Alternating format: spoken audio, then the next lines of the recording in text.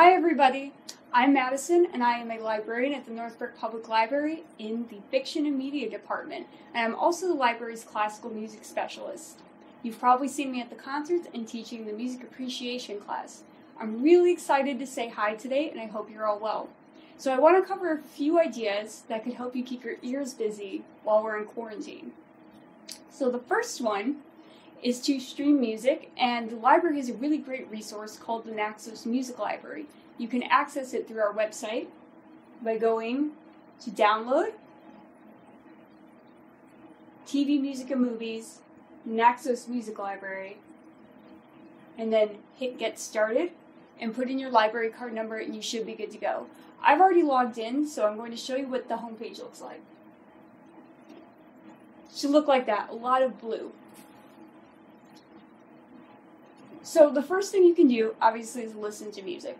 So you can put anything you want in here. If you like a specific pianist, you can put that in there. If you like a specific conductor, orchestra, even if you just want to listen to all the Beethoven symphonies, you can do that just by typing it into the bar. So I'd like to listen to Beethoven Symphony Number no. 3.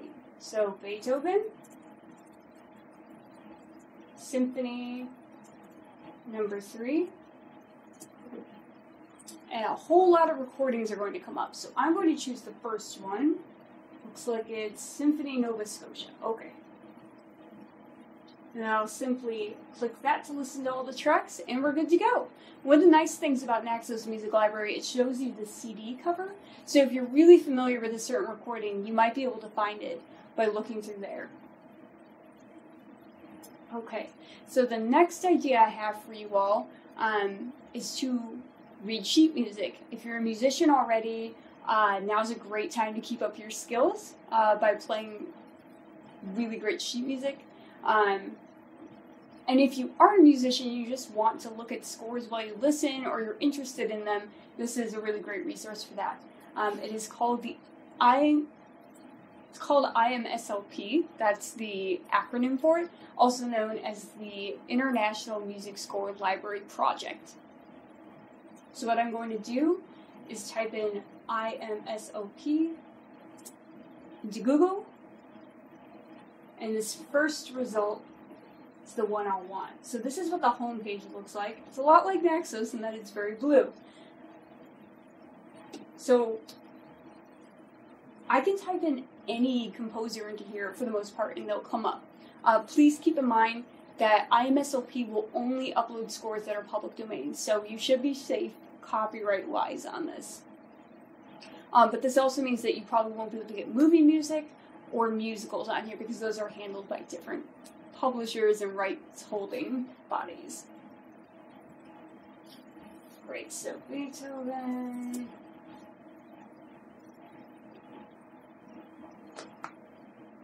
And you should be able to find all Beethoven's music if that's your composer of choice. So, let's talk about connectivity. Yay! Uh, what I suggest that you do, totally optional, is to find a recording of a piece you really like and then find the score to it. You don't necessarily need to read sheet music like a professional to enjoy looking at it or observing it while you listen to music.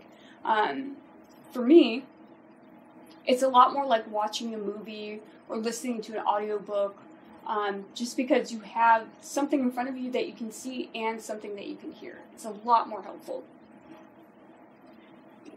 I'm going to suggest that you listen to pieces that are about the outdoors because you can't really go outside very much right now.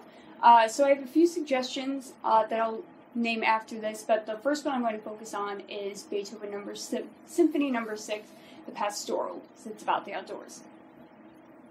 So I'm going to find a recording Type in Beethoven Symphony Number 6.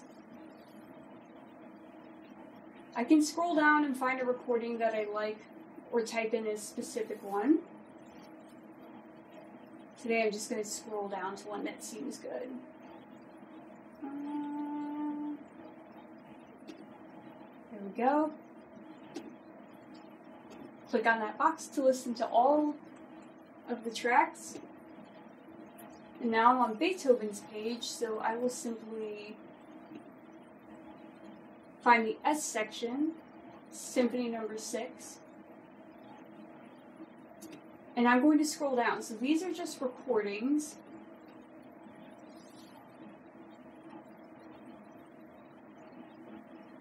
And now we're on scores. I don't suggest necessarily reading a score unless you're used to it because it's a lot of really fast music reading and a lot of scrolling.